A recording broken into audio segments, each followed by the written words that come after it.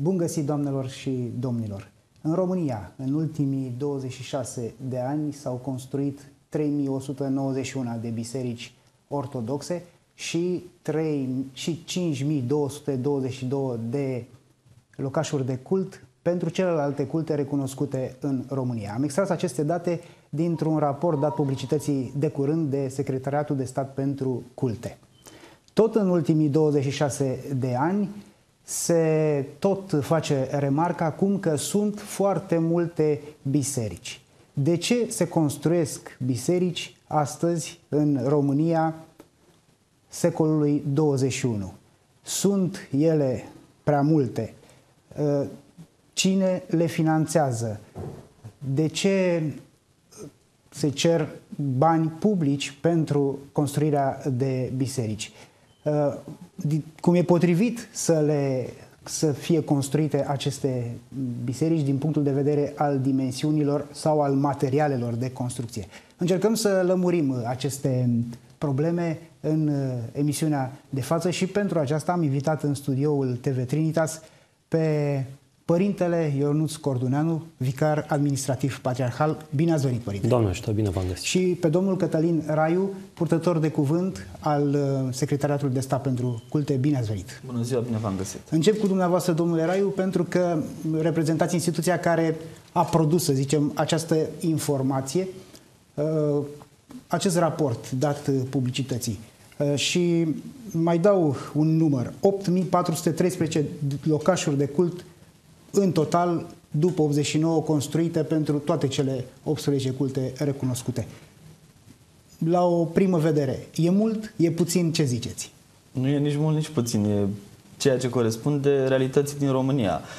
Nu cred că e cazul să fac eu o prezentare a istoriei recente, dar știm cu toții că după 1990 religiozitatea românilor a fost, uh, dacă vreți, oarecum intensificată și redescoperită după o perioadă de tăcere de aproape jumătate de secol, deși nici istoria de dinaintea regimului comunist nu a fost foarte blândă cu acest capitol al libertății religioase.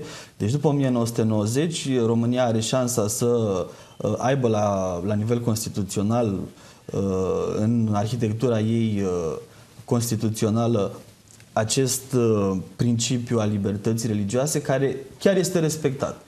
Și atunci ceea ce numim construcție de biserici corespunde efectiv voinței membrilor bisericilor nu cele 18 culte, fiecare are uh, propria rațiune de a construi biserici sau nu, de a le construi într-un loc sau altul, de a le construi dintr-un material sau altul, cum spuneați uh, mai înainte. Deci cifra nu e nici mică, nu e nici mare, ea corespunde efectiv unei realități. Bisericile în România, deci locașurile de cult în România, nu sunt construite de autoritățile publice. Ăsta e un lucru la care noi ca instituție ținem foarte mult să fie receptat uh, extrem de bine în uh, mass media, autoritățile publice, dat fiind principiul libertății religioase, nu pot hotărâ, nu pot iniția, nu pot gândi construcția unui lăcaș de cult. Construcția unui lăcaș de cult aparține exclusiv comunității religioase, fie că este vorba de cultele religioase, cele 18, asociații religioase sau simple ONG-uri care au și activități religioase. Nu e celebra temă uh, foarte vehiculată astăzi în presă, moscheile ilegale din București. Moscheile ilegale din București sunt absolut legale, pentru că uh, ele corespund expresiei libertății religioase a, a unor cetățeni români sau nu, iarăși uh, legislația românească nu face diferența între uh, cetățean român sau cineva care nu e cetățean, dar este rezident în România, în ceea ce înseamnă exercitarea libertății Vă religioase. Vă referiți la moscheile care aparțin de asociațiile religioase, Absolut. nu cultului musulman Absolut. din România. Absolut.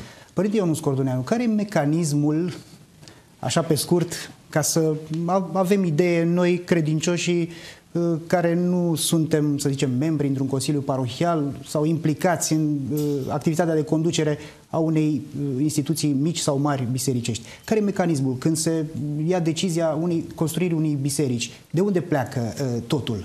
Pentru construirea bisericilor, majoritatea acestor decizii s-au luat undeva în anii 90. Acum ne străduim să finalizăm ceea ce am început. Mai numărul bisericilor în începute. Da, mai sunt uh, cam 1000 de biserici pentru biserica ortodoxă, cam 500 și ceva de biserici pentru de locașuri de cult pentru alte uh, culte. Mai sunt în curs de edificare. Um, Este dorința comunității, întotdeauna. Comunitatea își uh, evaluează situația, vede uh, că locașul de cult este insuficient și începe să caute soluții. Se înființează întâi o comunitate, o parohie și apoi se construiește... Cum să spun, nu e nevoie să neapărat să se... Da, se înființează o parohie, dar acea parohie se înființează de obicei dintr-o, rupându-se dintr-o parohie care existentă. Sau, da, exact, care este foarte mare. În București au fost parohii care au avut și peste 10.000 de familii este evident că nu poate să deservească un locaș de cult uh, uh, peste 10.000 de familii și să le și păstorească. Și atunci se pune problema și insuficienței spațiului. Uh, pasul inițial, deci odată ce, ce credincioșii se hotărau să se angajeze la un astfel de, de demers, pentru că fără ei nu se putea, se mergea să se ceară aprobarea centrului eparhial. După aprobarea centrului eparhial, de regulă se și constituia parohia, pentru că având personalitatea juridică se poate să facă toate demersurile uh, necesare pentru uh, a achiziționa un teren, pentru a obține avizele și autorizațiile necesare, pentru a desfășura toate lucrările uh, respective. În totdeauna, în 99% dintre cazurile de lăcașuri de cult construite după 90, ele au fost construite de o parohie. Deci nu arhiepiscopia, nu știu care, sau episcopia, sau vreun protopopiat, vreo entitate ierarhic superioară era cea care făcea toate demersurile, ci le făcea uh, însăși comunitatea organizată ca și parohie. Deci, nu este ambiția unui cleric de a deveni titor de biserică, ceea ce e foarte lăudabil, ci e uh, constatarea unei uh, nevoi Uh, consemnarea ei și apoi trecerea la, la inițiativă. Intru, la... Nu vreau să intru în jocul acesta uh, de factură, în general generat de, factură, de o factură anticlericalistă, care vrea să facă o distinție foarte clară între clerici și, și mireni. Împreună, și le analizau. Împreună le, a cui era ideea, cum le făceau până la uh, urmă, asta este diferă, sunt tot atâtea cazuri câte lăcașuri de cult s-au construit. Sunt convins că a diferit uh, de la caz uh, la caz. Uh, împreună clerii și mireni ajungeau la această concluzie că este necesar un uh, locaș de cult. Bineînțeles, oficiul parohial, deci persoana juridică numită parohia este condusă de către un preot, pentru că așa este în statut și așa este rânduiala a bisericii, deci preotul respectiv semna toate uh, actele după ce se aproba de către Consiliul Parohial, care cuprinde un număr de mireni de la 6 la 12. Uh, și, uh, deci, împreună hotărau Uh, orice ce uh, parohul uh, semnează, în spate trebuie să aibă și o, și o hotărâre de Consiliu Parohial. Deci că, să spunem că preotul vroia sau că credincioșii vroiau, dacă nu vreau și preotul și credincioșii, atunci nu se făcea. Asta este evident.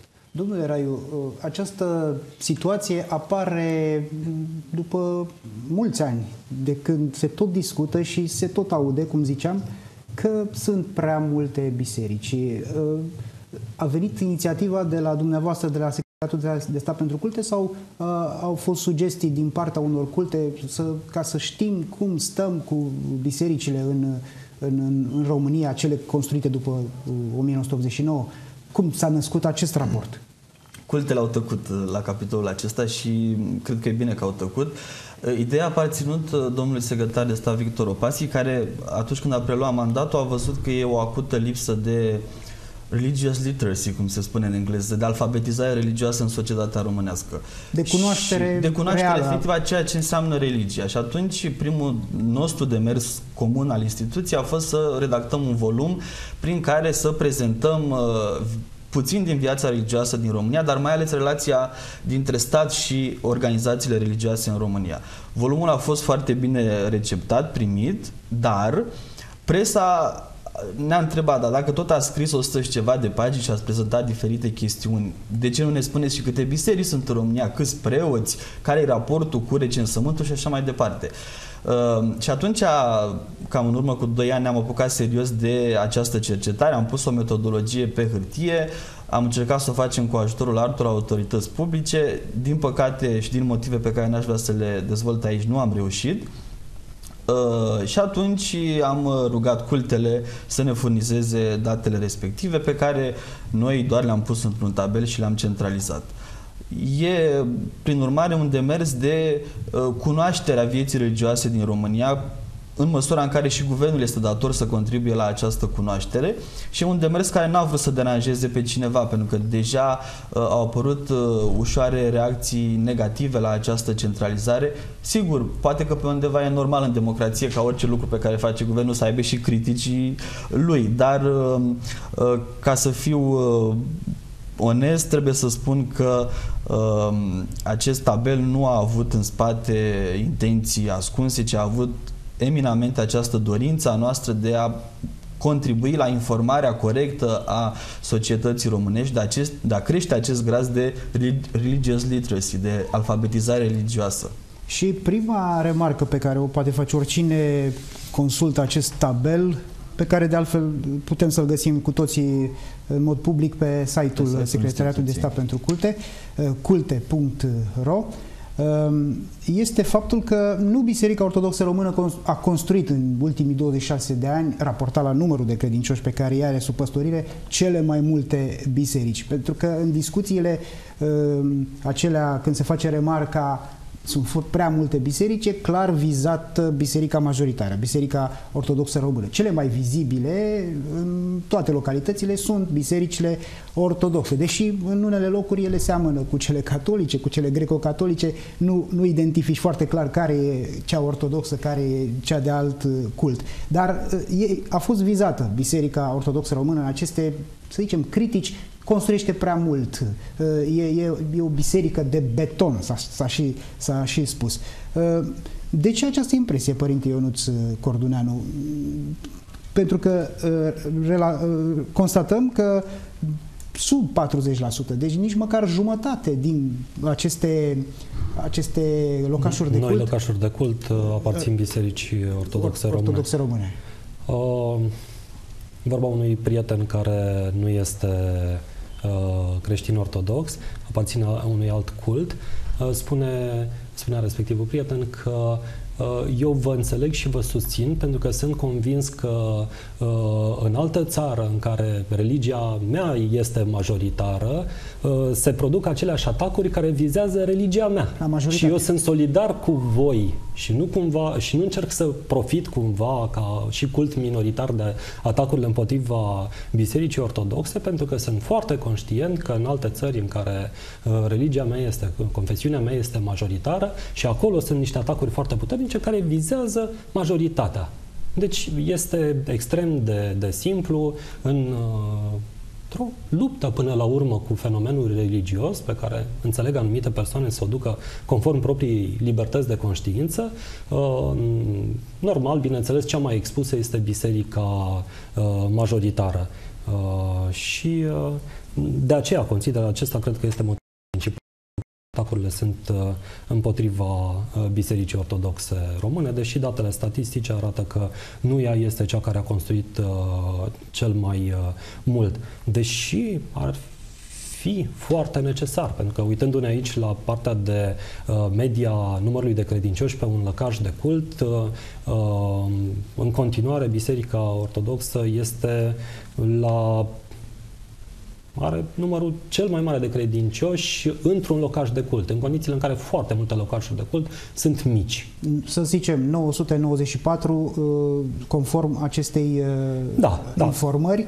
Care cuprinde și poate tot felul să, de paraplise poate de mănăstire. crească adică... acest număr de credincioși pentru că uh, din cele 16.300 de biserici ortodoxe, multe dintre ele sunt capele de cimitir, nu? Da, da, da. Biserici de mănăstire care nu sunt dedicate parohiilor, comunităților de credincioși. Da, exact, care nu deservesc o comunitate. Deci ar fi sunt peste mii de credincioși per per locaș de cult, ceea ce e foarte mult, pentru că dacă stăm să ne gândim, fiecare știe biserica lui de acasă, din locul în care s-a născut, în care a fost botezat, în care a mers primii ani la, la biserică. Știe că acolo nu intră foarte mulți, nu sunt biserici mari, sunt biserici mici. Aici, în București, mai întâlnești biserici că, în care să intre 1000-2000 de oameni lejer. Și nu sunt foarte multe. Sunt, Media să slujiți într-o biserică mare, să zicem. Mare, da. uh, media este, adică numărul de biserici este mare și pentru că uh, cam 60% dintre ele sunt în mediul rural, dar cum se știe, mediul rural uh, a scăzut foarte mult populația, uh, a îmbătrânit, lăcașurile de cult respective sunt acolo, deservesc comunitatea, uh, dar uh, în, uh, în oraș cazul Bucureștiului, așa cum s-a văzut și în comunicatul de, uh, de presă, cel dat de Patriarhia Română după publicarea acestor date, în București, la 2 milioane și jumătate de oameni, dintre care 1 milion 800 și ceva de mii sunt ortodoxi, sunt doar 260 de lăcașuri de cult ortodoxe. Ceea ce face să avem un locaș de cult la o biserică la 6.000 de credincioși este evidentă disproporția și faptul că este foarte greu să, să gestionezi în, în această situație. Dar poate fi constatată situația și cu ochiul liber dacă cineva are curiozitatea să, într-o duminică, în zi de sărbătoare, să meargă, uh, să fie itinerant între mai multe biserici, constată că oamenii nu au loc uh, uh, în multe dintre biserici și rămân pe lângă zidurile ei ca să asculte slujba, ca să fie în comunitate. Vă dau și un, un scurt exemplu. Cunosc foarte mulți oameni care să nu le discutăm credința, dar spun uh, nu merg la biserică pentru că n-am loc să intru, efectiv. În București, adevărat. Uh, dacă, dacă trecem puțin în altă țară, am avut prilejul să stau în Marea Britanie șapte luni și am vizitat foarte multe biserici anglicane, am mers inclusiv uh, la slujbă. Uh, bisericile sunt mari și sunt goale. Uh, și atunci, pentru ca preoții de acolo să îi vină în întâmpinarea credincioșilor și să-i ajute să aibă o participare lejeră, facilă la slujbă și au permis să construiască în partea de intrare a bisericii, am spune pronaos în limbajul ortodox, nu știu dacă și acolo e valabil termenul, efectiv grădinițe, adică țarcuri de joacă pentru copii și vii la slujbă, lași copilul uh, la intrare, stă cineva cu el, un voluntar, un membru mai senior al comunității, participi la slujbă, pleci acasă și ții copilul. Deci am, am în minte această imagine. Această imagine nu poate fi transpusă în București, unde la fiecare liturghie cu prilejul fiecare sărbători, în fiecare biserică, biserica este plină ochi. Vă dați seama, în urmă cu câțiva ani, uh, preluând niște informații făcute de seculariști români, BBC-ul a preluat o știre referitoare la că la trei zile se construiește o biserică în România. Ce și-ar fi imaginat bieții englezi, pentru care o biserică înseamnă ceva aproape cât Catedrala Mântuirii Neamului, fiecare din bisericile lor de parohie, că fi însemnând că în România artă, se construiește câte o biserică la trei zile. În mintea lor și-au văzut biserica de la ei din cartier, de la Londra, uh, acele catedrale gigantice care câte servesc câte un cartier sau câte o comunitate uh, din marginea orașului și au imaginat cum în România, probabil că se întrebau cum au loc în București să încapă atâtea sau cum au loc să încapă astfel de construcții. Fiecare își proiectează experiența lui de la el de acasă. Niciunul nu și-ar fi imaginat că majoritatea bisericilor construite după 90, cel puțin cele ortodoxe, au o capacitate de 200-250 de persoane. Mai ales că acum, uh, de când a fost cu tragedia de la colectiv și sunt uh, toate acestea uh, documentații foarte stricte de la ISU, în care trebuie să, să declari câte persoane vor fi, nu, nu poți să permiți accesul accesul peste numărul respectiv de, uh, de persoane ce, ce de principiu pentru... Da, da, da. Deci deja dacă până acum în București, după evaluările noastre, bisericile din București acopereau cam 2% din numărul de ortodoxi uh, existenți în București, deci puteau să primească cam 2% din numărul de credincioși ortodoxi, mm, pe noile, pe normativele ISU, pe noile normative ISU, probabil că se coboară sub procentul de, sub aceste 2% pentru a putea să le, să le respectăm. Ce înseamnă? Înseamnă că nu mai putem să mai primim oamenii la slujbă. Uh, sunt prea multe biserici, dar uh, de fapt uh, sunt total insuficiente. Spun, am ieșit pe stradă și am găsit trei biserici pe strada aceea. Da, du-te în drumul taberei, du-te în militari și ai să găsești uh, trei biserici într-un cartier de câteva sute de mii de oameni, de mii de, da. într-un oraș cât Clujul. Ai să găsești trei biserici într-un oraș cât Clujul. Au fost orașe în România construite de comuniști de la zero care nu aveau nicio biserică pentru că le-au construit în câmp. Orașul Victoria, celebru într-o vreme că nu a avut, nu s-a suprapus pe un, uh, o localitate care să aibă ortodoxi anterior și nu a existat până la Revoluție nici o biserică ortodoxă pentru un oraș de peste 10.000 de locuitori.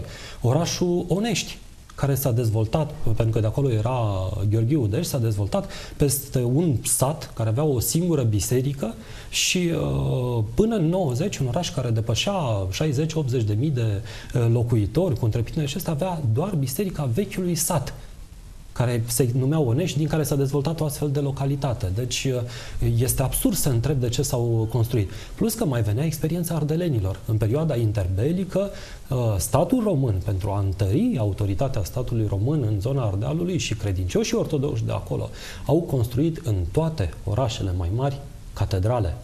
Un ardelean înțelege cam greu de ce bucureștenii au o problemă cu construirea unei catedrale.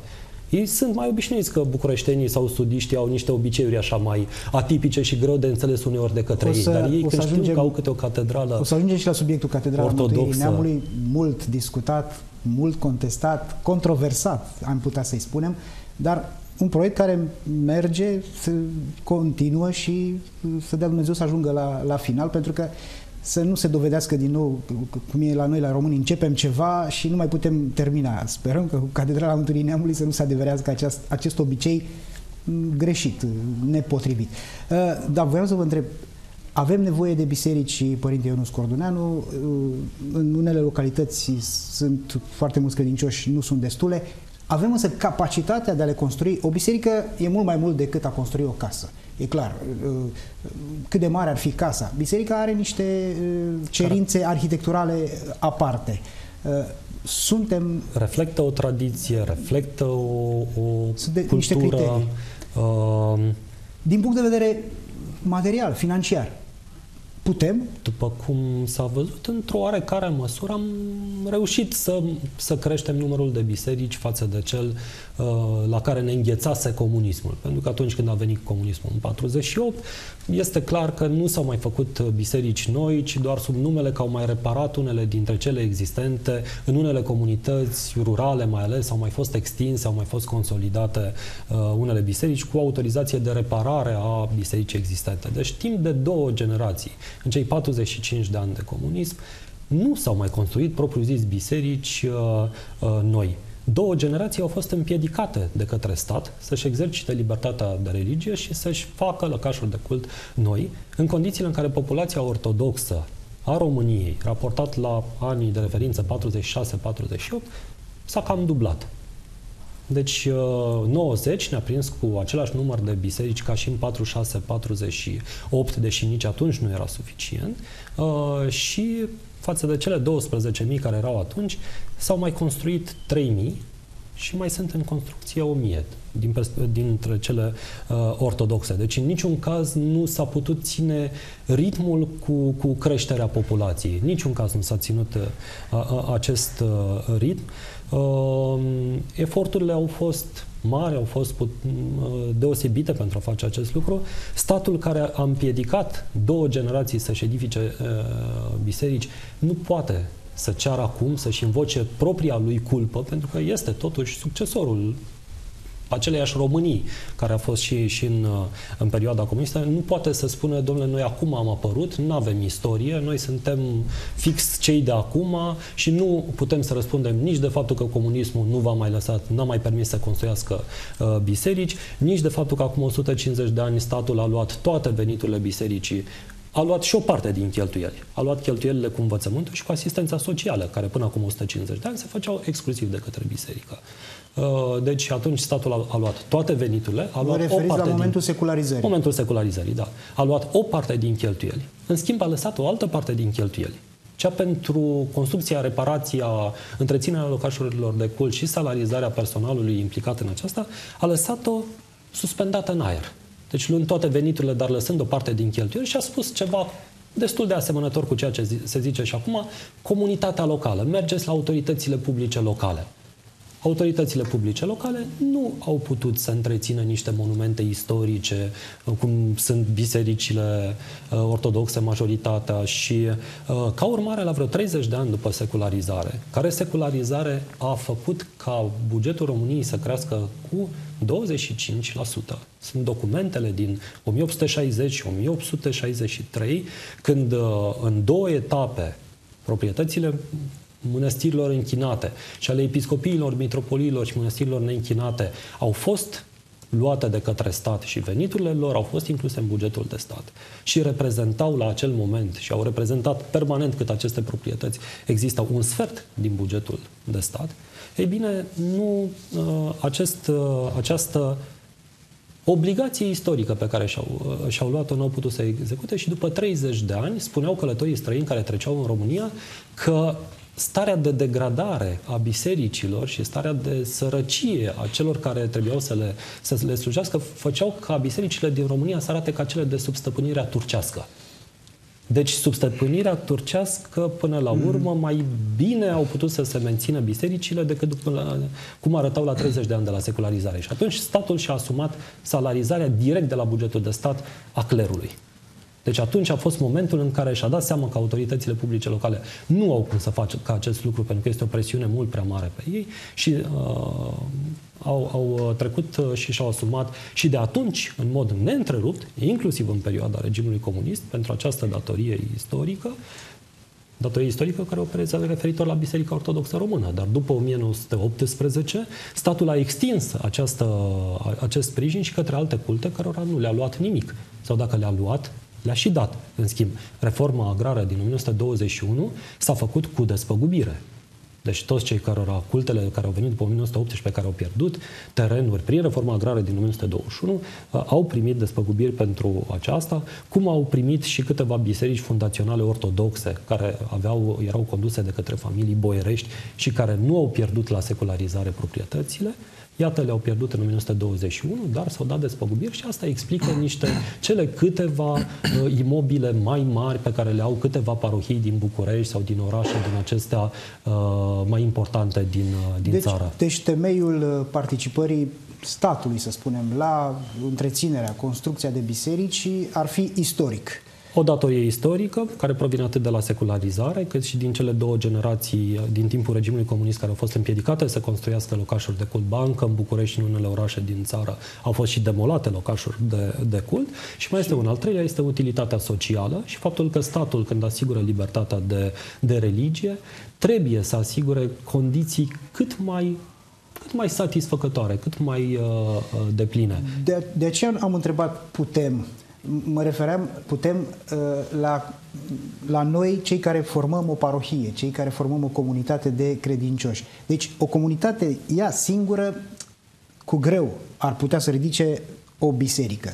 O biserică necesară nevoilor religioase ale acelei comunități. De aceea se cere ajutorul buget, la bugetul local sau la bugetul de stat. Secretariatul de stat pentru culte este cel care, să zicem, administrează această uh, uh, relație. Domnule Raiu, pe anul 2016 am văzut informarea de pe site-ul secretariatului. Uh, nu există buget pentru construcția de biserici uh, de la, de la stat, de, prin Secretariatul de Stat pentru Culte, dar pe anii trecuți au, au fost. Uh, cum se prezintă situația? Cam cât de mult a participat statul, statul în construirea acestor 3191 de biserici? Dacă putem să zicem cât la sută din cât a necesitat construirea atâtor locașuri de cult? Aici, din păcate, nu avem o centralizare foarte precisă pe care să o pot invoca cred că este și imposibil de făcut de altfel, pentru că ar trebui să luăm informații din mai multe zone. Uh, dar așa, observație clinică, dacă, dacă îmi dați voi, ar fi următoarea. Anul trecut, spre exemplu, am avut în jur de 1600 de solicitări, însemnând undeva la 8% din numărul total de unități de cult uh, din uh, țara noastră. Deci numai 8% dintre parohii au solicitat ceva sprijin financiar Guvernului României prin Secretariatul de Stat pentru Culte. Din totalul devizurilor, deci din totalul sumei solicitate de aceste 8%, noi am finanțat, pentru că atât a fost bugetul, undeva la 10-12%.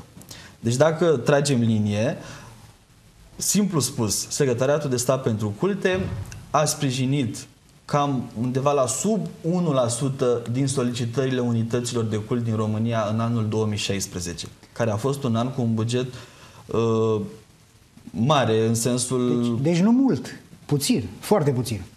Am putea, am putea spune. De, depinde. Că eu, vă eu vreau să mă lămuresc personal, pentru că lucrez și într-un mediu, într-un mijloc de comunicare uh, profan, la Radio România Actualități. Și acolo, când vine discuția de câți bani se dau de la stat pentru culte. Desigur, nu, nu vorbim aici de salarizare, dar și acolo e o parte din salarizarea preoților o suportă statul. Dar vorbim de construcția de biserici, aceasta este tema emisiunii. Când se, se discută aceste lucruri, totdeauna vine reproșul că statul dă prea mult pentru, pentru așa ceva, când ar putea să dea în altă parte în domenii mult mai utile, să zicem, pentru un serviciu public nu, pe care trebuie să-l facă statul. Aici, tre- aici trebuie să clarificăm o chestiune. România e o democrație. Uh, cel puțin asta ne-am asumat de 26 de ani. Democrațiile se bazează pe drepturi și libertăți. Deci, înainte de a invoca orice altceva, inclusiv creștere economică, lupta împotriva corupției și alte chestiuni care sunt extrem de importante și sunt pe agenda noastră, noi trebuie să invocăm drepturi și libertăți. Nu, principalul, principala chestiune într-o democrație este să asigure accesul la drepturi și libertăți. Secretariatul de Stat pentru Culte gestionează o libertate din toate cele multe constituționale, anume exercitarea libertății religioase. Ce facem noi este să facilităm cetățenilor această exercitare. Noi nu obligăm să meargă la biserică, noi nu le construim biserici, noi nu le interzicem să meargă la biserică. Dar acolo unde comunitățile ridică mâna și spun mi s-a stricat acoperișul, îmi plouă în biserică, n-am unde să mă rog, mi se pare de bun simț că statul care are de aplicat, de, de, de respectat o Constituție să vină să încerce să ajute. Și repet, în această logică, sprijinul nostru este mărunt. Mărunt. Uh, sigur, se adaugă și sprijinul autorităților locale, care la fel, e imposibil de calculat de la caz la caz, pentru că avem în România 3000 și ceva de unități administrative locale, care sunt autonome și care nu dau seama în fața guvernului cum își cheltuiesc banii. Deci acest strigăt, dacă vreți, al, al pieței și al presei uh, se finanțează prea mult, se construiește o, o biserică prea mare. Nu are subiect și predicat. Pentru că nu, nu, nu ne spune nimeni, nu, nu li se explică clar cine finanțează ce și în virtutea a ce. Asta, asta e marea problemă. Strigăm toți pe aceeași voce, dar nu, nu, nu, nu ne înțelegem unul cu altul, adică suntem autiști. Nu, eu, eu sunt profesor și de științe politice la universitate și tot timpul invoc uh, un autor, Giovanni Sartori, care e unul dintre politologii marei secolului al XX-lea și el spune piața și sondajele de opinie sunt instrumente de guvernare contrademocratice. De ce? Pentru că acolo uh, gradul de manipulare a opiniei publice poate fi foarte, foarte ridicat. Adaugă și referendumurile, dar asta e altă discuție. Uh, Democrația se bazează pe deciziile luate în Parlament de reprezentanței poporului care au imunitate parlamentară, deci care își permit să vorbească adevărul indiferent pe cine deranjează și care își asumă deciziile în virtutea unui mandat de patru ani. Sigur, dacă deciziile luate de un parlament în orice țară, nu e vorba doar de România aici, sunt greșite, acești parlamentari își vor pierde mandatul la alegerile următoare. Nu, nu piața uh, nu presa, nici măcar intelectualii, dacă îmi dați voie, nu au capacitatea să discearnă interesul public. În numele interesului public poate vorbi într-o democrație exclusiv, exclusiv Parlamentul. Nu există o a doua entitate care să vorbească în numele interesului public, să-l manufactureze, să-l pune efectiv în, în lege și să-l înfăptuiască. De aceea, Uh, cred eu că trebuie să distingem din discursul celor care strigă așa, celor care strigă așa, celor care strigă așa, să distingem efectiv care e subiectul și care e predicatul, dacă vreți. Și în momentul în care știm care e subiectul și care e predicatul, putem să oferim răspunsuri coerente, raționale, le putem argumenta, putem dezbate un an, doi, zece. Nu sunt legi în Parlamentul Marii Britanii care stau acolo zac de zeci de ani. Părinte Ionus Corduneanu, venim și la subiectul Uh, mă scuzați puțin că aveam, aveam o scurtă completare. Părintele Vicar a vorbit despre reforma domnitorului Alexandru Ioan Cuza în domeniul, să zicem, vieții bisericești, deși e mai mult o reformă financiară, economică. Da. economică. Tot Alexandru Ioan Cuza este primul lider politic din lume, primul care decretează învățământ gratuit și obligatoriu.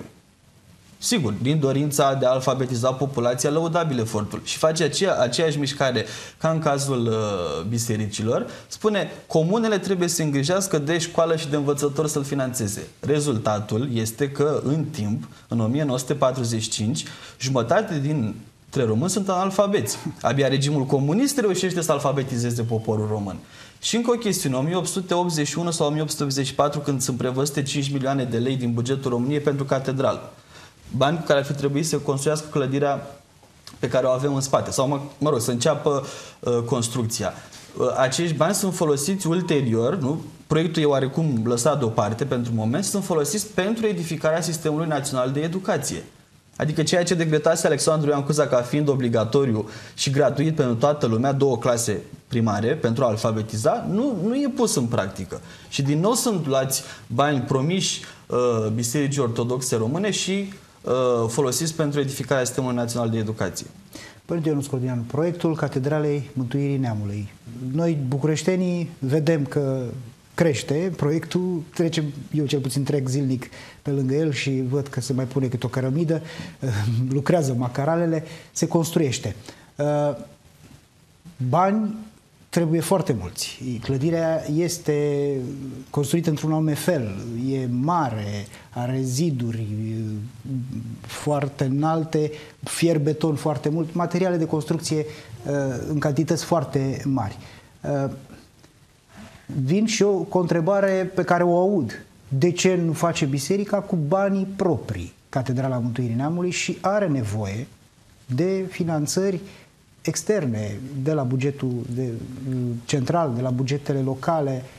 Știți cum uh, în, uh, în Europa sunt doar uh, două, două țări în care biserica majoritară se poate întreține din fonduri proprii. Și acele două țări sunt Regatul Unit și Cipru. Atât. În nici o altă țară europeană, biserica tradițională nu se poate întreține din veniturile proprii, nu își poate face obiectivele uh, din fonduri proprii pentru că, deci exclusiv din fonduri proprii mă, mă refer, întrucât a trecut printr-o secularizare. Prin toată Europa au fost diverse forme de secularizare a proprietăților bisericești. Altfel spus, biserica a participat financiar la construirea statului modern. Ceea ce s-a întâmplat uh, la 1863 prin secularizare, uh, ceea ce uh, s-a întâmplat și în multe alte state. În toate acele state în care biserica nu se poate întreține din fonduri proprii, statul a găsit una sau alta, alte forme de a, a ține pe o linie de, de plutire, pentru că era normal, pentru că altfel înseamnă să încalci libertatea religioasă, să iei sursa de întreținere a, a, pentru o comunitate religioasă, înseamnă să lovești într-unul dintre fundamentele libertății de, de religie, pentru că de fapt erau proprietățile respectivelor persoane dedicate unui anumit obiectiv. Tu deturnezi donațiile respective către un alt obiectiv și atunci trebuie să, să asiguri o, o existență. În 1925, ministrul cultelor din perioada respectivă estima în România Mare câte unități de cult din România Mare se pot auto-întreține din veniturile pe care le au. Și concluziona că doar 2% dintre parohiile ortodoxe din Ardeal, 3% dintre parohiile ortodoxe din Regat, 5% dintre parohiile greco-catolice, 20 ceva la sută dintre cele romano-catolice și 85% dintre cele luterane ale nemților se pot întreține singure pe lângă distanța foarte mare între aceste comunități Cum ca și capacitate. aceste mari diferențe păi, prin proprietățile pe care încă le dețineau da, da, proprietățile sașii. care le asigurau veniturile respective. Ortodox și românii în Ardeal, după 1000 de ani de împilare, 2% e mare lucru că 2% uh, dintre parohiile respective se puteau uh, întreține. În regat 3% pentru că încă mai erau familii boierești care țineau o legătură cu anumite parohii, erau titori la anumite biserici și cumva asigurau o subzistență pentru aceasta, o existență pentru aceasta. Uh, deci o situație foarte proastă și concluzia statului și atunci a fost trebuie să continuăm cu sprijinul statului către culte, nu doar către Biserica Ortodoxă Română, care i-am luat în regat proprietățile, ci și către alte culte care, iată, nu reușesc uh, în totalitate să-și acopere cheltuielile. Lucrul este valabil pentru orice țară, inclusiv Franța, laicistă, laică spusă, toate bisericile anterioare anului 1905, care sunt monumente istorice, toate cheltuielile aferente acestora sunt plătite integral și exclusiv de către stat. Deci uh, tot ce înseamnă biserică, monument istoric, să fie întreținută exclusiv de către stat. Vă dați seama că și în România, dacă noi am avea această uh, condiție asigurată, atunci uh, necesarul ar fi mult mai mic, fără discuție, dar nu se pune problema. În România, monumente istorice în picioare funcționale sunt aproape exclusiv bisericile tot ce au însemnat clădiri civile, clădiri administrative, cetăți, alte lucruri, uh, nu au reușit să, să reziste în cea mai mare parte. Pentru că biserica a fost un locaș viu și pentru că biserica, comunitatea credincioșilor, a avut grijă de el a avut grijă să treacă, să traverseze istoria, sutele de, de ani. Deci este un foarte bun administrator biserica și proprietar și constructor a ceea ce face. Situația cu catedrala este similară. Vedeți cum 1863 se iau averile bisericești pentru învățământ, asistență socială, dezvoltarea statului modern revoltele țărănești care au apărut la câteva zeci de ani după aceea, culminând cu 1907, arată că nici partea de învățământ, nici de asistență socială, nici de împroprietărirea țăranilor cu fostele proprietăți mănăstirești nu prea s-a întâmplat și n-au făcut-o foarte bine. Iată, prima lege a catedralei, acum 140 de ani, se alocă 5 milioane de lei aur, care trebuiau să fie suficienți pentru acest proiect, sunt luați și dați tot pentru învățământ. Deci, a doua oară când biserica, în mai puțin de 150 de ani, contribuie cu ceea ce era ei sau i-a fost alocat pentru un obiectiv, pentru, pentru un că istoria e ciclică. Acum, da, la da. Acum suntem în situația ani, în care... Din nou, aceeași, aceeași cerință, aceeași dolea, doleanță. Cârcoteala, da. i-aș putea spune, cum că banii sunt direcționați spre biserică în loc să fie spre Tocmai am discutat. Sănătate. Doar 2% dintre credincioșii ortodoxi din București încap în lăcașurile de cult existente. Necesitatea unui lăcaș de cult care să mai acopere din necesarul acesta este foarte mare. Da, au spus unii, de ce nu se construiesc 10 biserici medii în loc de una mare? Nu se mai poate construi aproape nicăieri în București. Este o utopie, să spui. Fără îndoială. Nu există spații Nu există. Pentru Marile cartiere ridica. care au nevoie, într-adevăr, de, de lăcașuri de cult, este bloc lângă bloc. Sunt sute de mii de oameni care au câte o bisericuță captivă între niște blocuri, total uh, izolată și zdrobită de... Și, uh, ca urmare, drumul, duminică de duminică dimineața, dacă vă uitați, autobuzele și metrourile și astea, toate uh, merg spre centru. Îi duc pe credincioșii care încearcă să folosească bisericile istorice care sunt majoritatea uh, uh, în centru, acolo unde ne numără ei că avem trei biserici pe o stradă, cinci biserici pe o stradă, dar acele biserici istorice, uh, ele deservesc și au credincioși din, din toate cartierele Bucureștiului. Am întrebat la un moment dat la noi în biserica noastră că era ceva mai mare și noi n-am putut să facem un astfel de sondaj. I-am întrebat pe cei de la Coaliția pentru Familie. Oameni buni, voi strângeți semnături pe sectoare. M-ați făcut curios. Spuneți-mi și mie pe semnăturile pe care le-ați strâns de la credincioși care vin la această uh, biserică, pe sectoare, cam care este reflectarea? Noi suntem o biserică în sectorul 4, în zona centrală. Și am avut surpriza să văd că aproape toate sectoarele sunt în mod egal, aproape se regăsesc deci vin, aici. Vin oameni este din tot clar că oameni vin din tot, uh, vin din tot uh, Bucureștiul pentru a beneficia.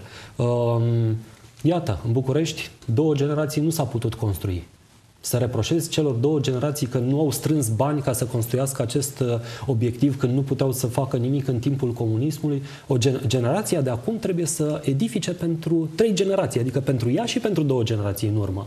Este un efort pentru care nu este ea vinovată, pentru care nu îi se poate cere integral ei să suporte această povară.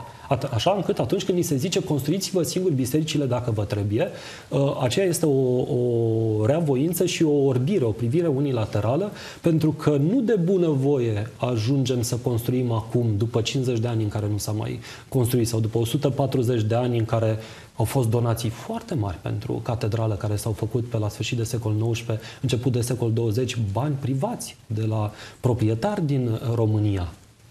Și aceia au ajuns tot mereu la alte obiective de care statul sau cei care erau atunci considerau că, uh, că, au, uh, că ar fi nevoie. Deci este o necesitate liturgică, este și o obligație nu numai morală a statului, și este un test pentru generația pe care o reprezentăm. Suntem capabili să ne coalizăm, să ne coagulăm în jurul unor mari proiecte este Bucureștiul capabil de așa ceva sau este un tărâm al dezbinării? Că am ajuns de nici, nici alte obiective Uh, nu, nu au fost realizate și până în 2011, când a început catedrala, cei care doreau noi spitale sau săli de spectacole, de concerte, sau puteau să le facă, dacă chiar era, se punea problema că, uh, că construcția catedralei ar, ar împiedica alte proiecte. Este o minciună, este a zis că e un neadevăr. test, un test, să ne dovedim în primul rând nouă ceva bănuiesc, să nu, să ne nu neapărat ca și să dovedim capacitatea altora. noastră. Iar eu cred în generația aceasta și cred că va, va finaliza catedrala.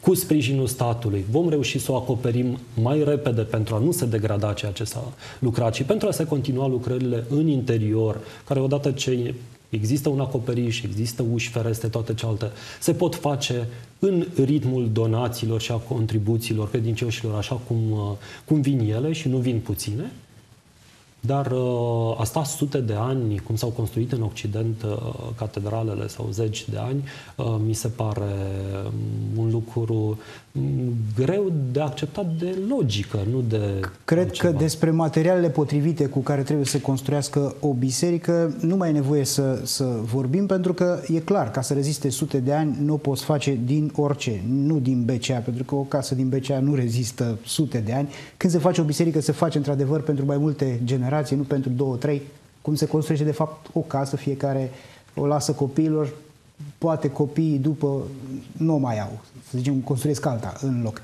Domnule Raiu, aceste contestări ale contribuției statului sau ale susține, împotriva uh, susținerilor uh, statului pentru cultele religioase, în special pentru Biserica Ortodoxă Română, că ea este majoritară. Aceste contestări putem să le interpretăm și ca pe un atentat, zis între ghilimele totuși, nu e, e cam dur cuvântul, la adresa libertății religioase. E, e o obstrucționare? Uh, libertatea religioasă, cum spune Ana Arendt, are două fațete, una pozitivă și una negativă. Acești contestatari observă numai partea negativă a libertății religioase. Mă rog, atunci când, să zicem, am putea să le dăm dreptate oarecum. Uh, ceilalți adică cei care se află în interiorul organizațiilor religioase, vor să-și exercite libertatea religioasă în mod pozitiv. Adică lăsați-ne să ne rugăm.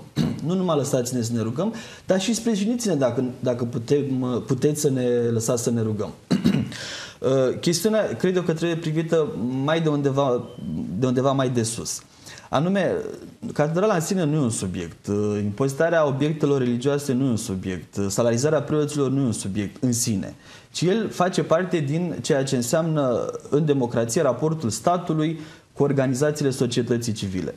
Adică cu acele organizații, cu acei cetățeni care se asociază în numele unei libertăți sau unui drept constituțional. În cazul acesta, uh, organizații cum sunt universitățile, partidele politice, cultele religioase, familia, care e prima temelie a societății civile în orice democrație, sunt în situația de a fi sprijinite de stat, pentru că ele, prin ele însele, produc un bine societății. Nu mai au nevoie de intermedierea statului. Sprijinul e de fapt o investiție. Am putea Sprijinul e o investiție și mai mult o facilitare a exercitării dreptului respectiv. Pentru acest motiv, pentru că aceste tipuri de organizații produc un bine, so- un bine societății, nu numai credincioșilor, ci și necredincioșilor, uh, circulația fondurilor în interiorul lor nu este impozitată, pentru că acei bani își creează prin ei înșiși efectul pozitiv. Nu, gândiți-vă la cum arată o parohie. Uh, se cumpără lumânări. Lumânarea respectivă nu e impozitată. Pentru că statul nu mai are nevoie să intermedieze suma respectivă. Lumânarea respectivă sau adaosul adăugat la lumânarea respectivă se transformă în capacitatea preotului de a plăti factura la curent sau de a-și plăti salariul sau de a cumpăra, a schimba un geam. Ați intrat într-un subiect pe care chiar aș, aș vrea să facem o emisiune, că e și asta o temă fierbinte, impozitarea La fel bisericii. se întâmplă cu partidele politice. Donațiile membrilor partidelor politice nu sunt impozitate. Bursele studenților nu sunt impozitate. Taxele studenților la universitate nu sunt impozitate. Cotizațiile membrilor de sindicat către sindicat nu sunt impozitate. Pentru că aceste sume își produc efectul și statul nu are de ce să se bage peste ele. Își produc efectul imediat. Dacă statul ar intermedia printr-o uriașă birocrație, cum a făcut de fapt Alexandru Ioan Cuza, dacă tragem un arc peste timp, ar, ar face mai mult rău și ar, ar avea o atitudine antidemocratică vis-a-vis de aceste tipuri de organizații. Ăsta cred eu că este uh, principiul general de la care trebuie pornită orice discuție față de statutul cultelor religioase într-o societate care vrea să fie democratică, nu care vrea să se întoarcă la o dezbatere uh, maniheistă epuizată în Europa de foarte mulți ani. Vă dau un singur exemplu foarte scurt. Deci, în Europa nu se mai discută clivajul acesta, stat, biserică, câți bani, câți nu știu ce. Nu mai produce rumoare pe străzi.